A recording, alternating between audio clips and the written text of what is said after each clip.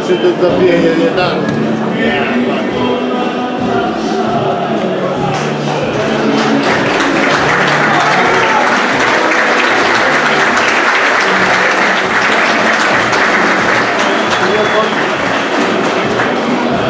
Thank you.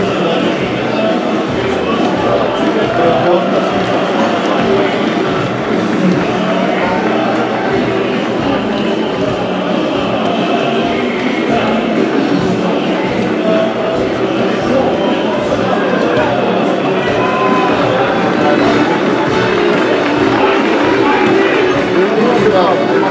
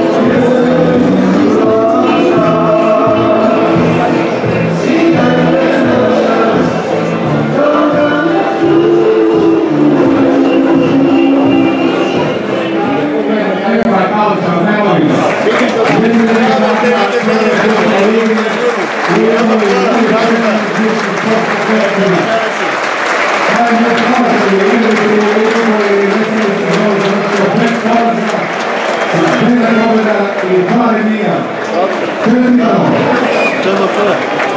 Obaveštavam vas da su na svim ulazima stadiona postavljene kutije crvenog krsta sa time da se pomogne sportskom društvu Mišava koji je prva Srbije u postavu za gole i nagove osobe.